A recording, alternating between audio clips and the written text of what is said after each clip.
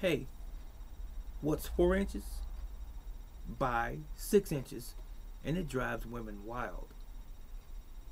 A $100 bill.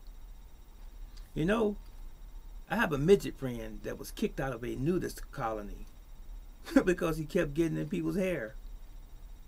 You get it?